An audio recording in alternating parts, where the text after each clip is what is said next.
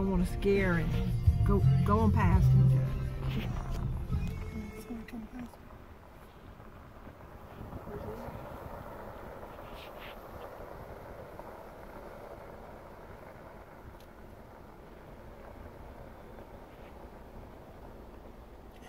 was like, what do you want?